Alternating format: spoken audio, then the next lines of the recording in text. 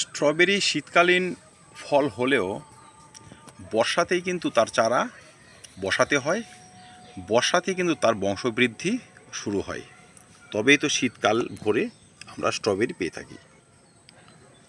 আজকে এই ভিডিওর মাধ্যমে দেখাবো, আমরা রানার থেকে কীভাবে স্ট্রবেরি চারা তৈরি করব এবং সে চারা দিয়ে কিন্তু আমরা বাগান ভরে রাখতে পারব। তো আসুন, খুব সিম্পল একটি প্রসেস চট করে আমরা জেনে নিই। চট করে আমরা বুঝে নিই।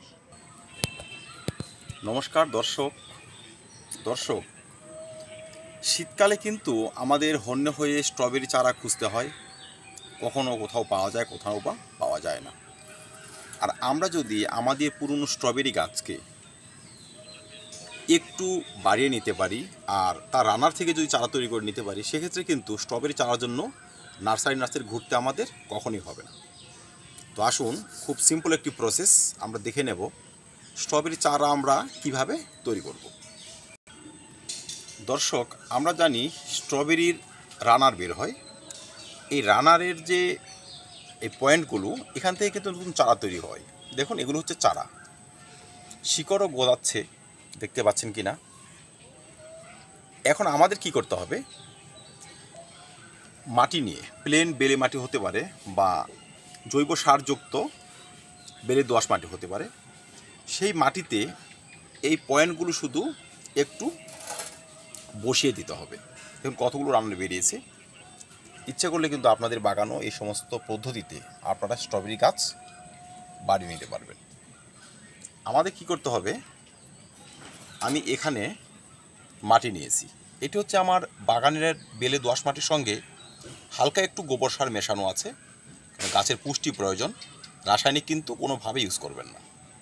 এবার এই মাটিতে কিন্তু আমি এই রানারের যেই সমস্ত পয়েন্ট থেকে নতুন পাতা গজাচ্ছে, সেটি কিছু শুধু বসিয়ে দেব। এতেই কিন্তু আমার গাছ চারা তৈরি হয়ে যাবে। এই দেখুন।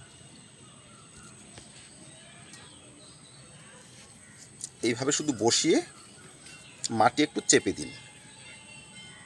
এইটুকু কাজ করলেই কিন্তু হবে। নয়তো শীতকালে আপনি এই গাছটি যদি কিনতে যান নার্সারিতে, প্রায় একশো টাকা দাম নেবে আপনার কাছ থেকে। আর আমরা যদি এইটুকু করতে পারি, একশো টাকা কিন্তু বেঁচে গেল। এইভাবে একটি গাছ থেকে দশ থেকে কুড়িটি চারা তৈরি করা কিন্তু সম্ভব। ছোট ছোট প্লাস্টিকের কাপ পাওয়া যায়। সেই কাপের মধ্যে মাটি ভরে বা বালি ভরে যদি আমরা এই সব ছোটো ছোটো চারাগুলোকে বসিয়ে রাখি, এক মাসের মধ্যে কিন্তু এরা পূর্ণাঙ্গ গাছ তৈরি হয়ে যাবে। আর যখনই এরা পূর্ণ গাছ তৈরি হবে, তখন কি করতে হবে? এই যে প্রধান গাছ থেকে যে এর সংযোগস্থল বা এর রানারটি এখান থেকে কেটে দিতে হবে। কেটে দিলেই আমি একটি সেপারেট ভালো গাছ পেয়ে গেলাম। আর শীতের শুরুতেই এই গাছগুলো ফাইনাল পটে যদি আমরা ট্রান্সফার করি, তবে কিন্তু ভালো মানের স্ট্রবেরি আমরা পেতে পারি।